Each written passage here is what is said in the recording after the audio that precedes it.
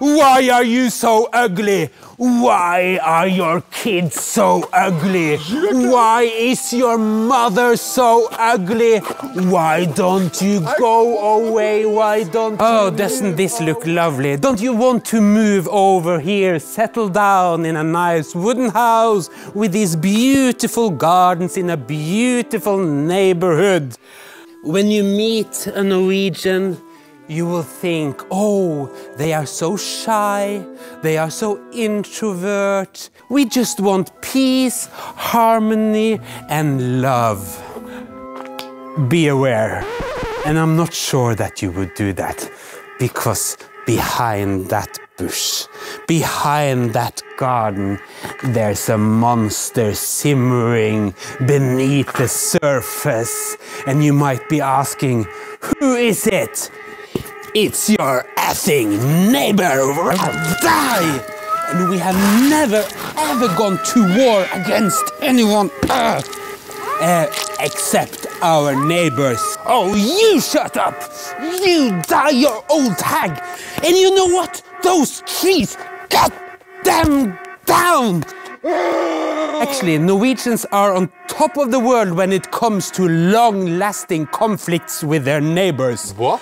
One in three person of these people living here in their lovely houses hate their neighbors and they have declared war on their neighbors and they will kill your neighbors. Well, not, you know, totally kill them. Someone wants to. And there is no answer. It could be a small thing like this tree is too high, that why aren't there any flowers over there?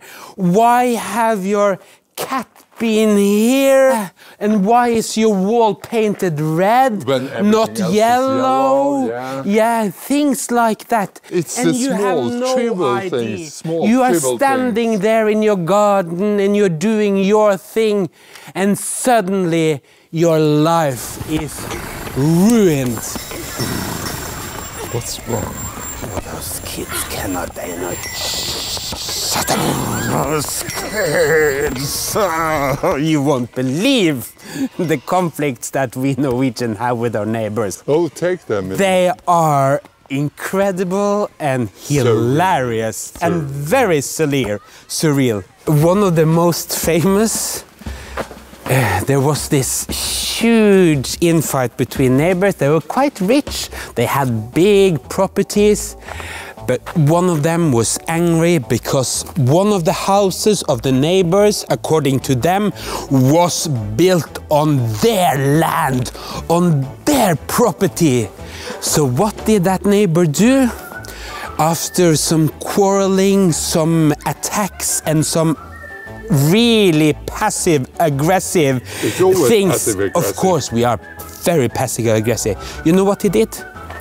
he sawed the house of the neighbor in two so that that part that he meant was on his property it was gone and when the neighbor came back they had a half a house Can you imagine the effort? He had to get there like during night when they were on vacation and all of lots that. of planning. Yeah, yeah, And. Norwegians are lazy by nature.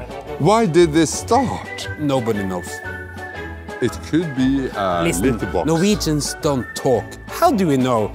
Well, it could have been this small thing, just a cigarette. Because that small little detail have irritated him or her for a long, long time. And you know, Norwegians, we don't talk about our feelings. That's a huge issue here. We lack the instruments. Yeah, we have we have no words for feelings, and and having a feeling is actually a very private, intimate thing, and you will never show that in public. So, I mean, you have been saying hello to your neighbors for a long time. Eating waffles. Yeah, and you you have been uh, maybe helping them out, doing some small talk, and my God, you don't understand why he clicks. Because Why the rage takes over. Because you put the container the way, wrong way. But you wouldn't know it because it's very not rational. But in the end, Norwegians, when it comes to feelings, this is not our home turf. This so is what? our only communication. Yeah, we can we can speak with guns and scissors and notes, but we can't use words, and we cannot actually go to you and say, please, Mr. or Mrs. Neighbor, I find that what you are doing is is very, uh, very annoying. I No. never go to my No, neighbor. no, no, they will never come. Oh, come on, doggy, doggy, little puppy, come on. You're så fin, så fin. Oh, sit down, sit down. Hi, things. Wait a minute, little boy. Take this. So Ronald, what can you do to resolve this conflict? Oh, it's easy. I will show you later. Just wait. I'm so tired. It's midnight, son, three o'clock in the middle of the night. And the grocery shop. I'm so looking forward to get home to my. Why are you so ugly? Why are your kids so ugly? Why is your mother so ugly? One of the most famous neighbor quarrels in Norway was, was this man.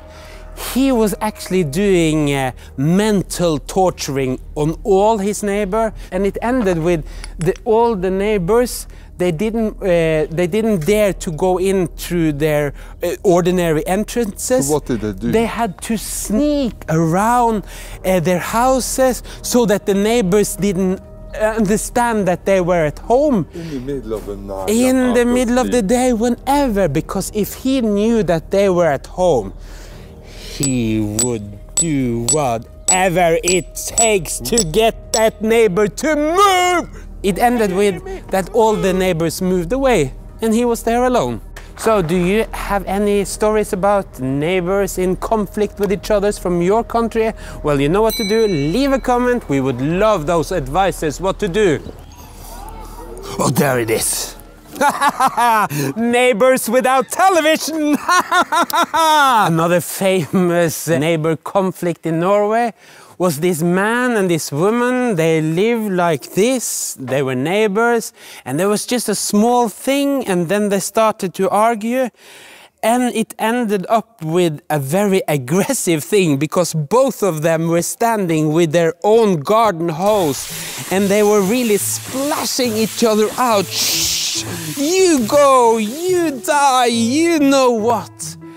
And after that garden hose uh, episode, one of the neighbors built a four meter high wall against the neighbor, painted it green, but not only green, they painted a huge picture of the Norwegian famous painting called Scream with the idea that each time that the neighbor would go out in his or her garden and relax, they had to look at this very disturbing picture. So they had to buy this fence and they had to buy. no, oh, not only build, uh, buy, they built it four meter on their own. They used a lot of money, and to make that scream painting, it costed a lot.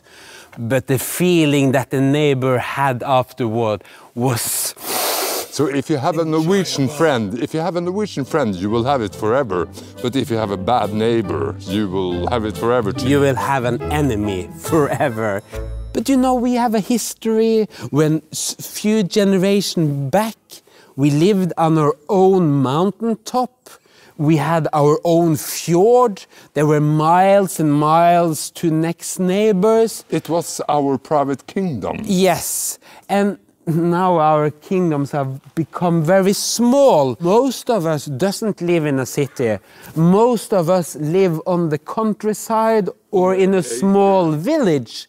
So we we have no competence when it comes to interact with the neighbors. There's a new conflict around. Over there, there were two professor, old professor. You'd think they were rational and not so emotional, but they weren't.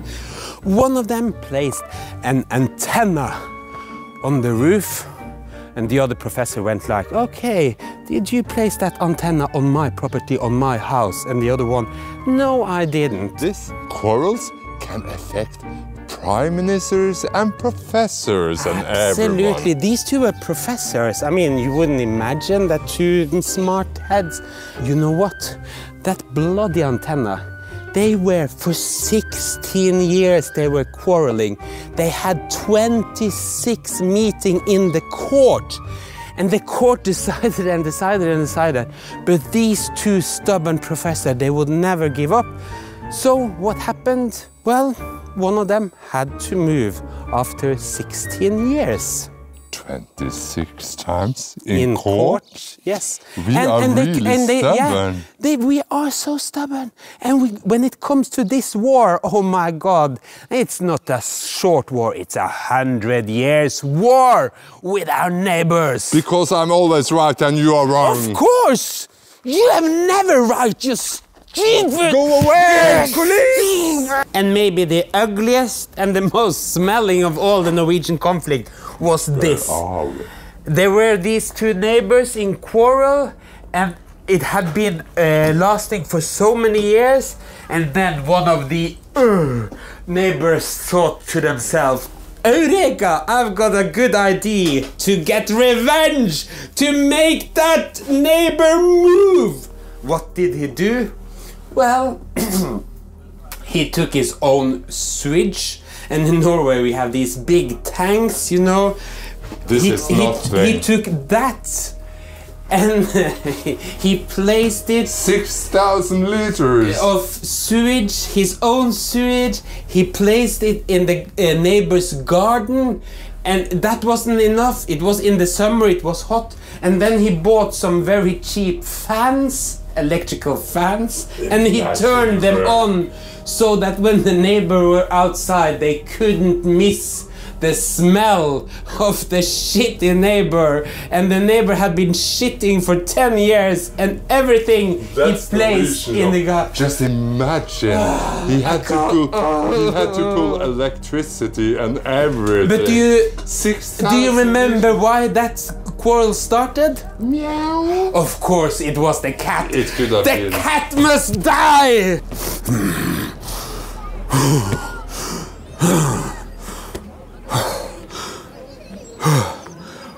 okay So, how do you solve this effing conflict that lasted for 16, 20 years? Is there any solution? Yeah, is it?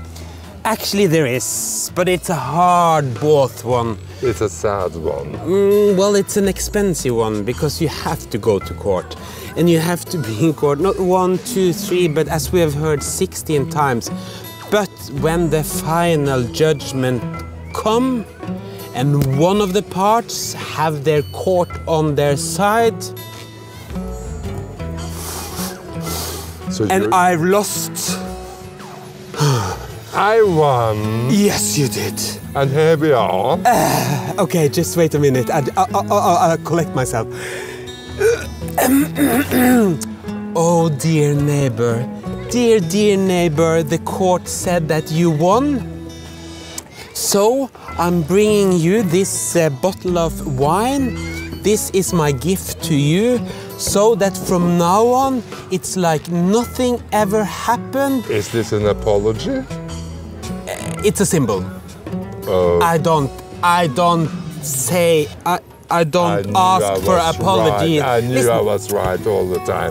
But okay, Yes. please. Yes, please. And that says a lot about Norwegians because it's all about justice. It has to yes. be just. so the court has. It has to be solved by a court, and that's why the court system in Norway is is filled with neighbor conflicts, and it's a big, big problem. But that's the only way you can solve it. Or, of course, you can move. Or- I would have. I would have moved Or- right away. or kill him. Yeah, yeah, well, okay, you can do that too. I didn't say that, but that was this end of the conflict. Now, oh, we are friends. Are we friends? Take that bloody bottle, you winner! Goodbye.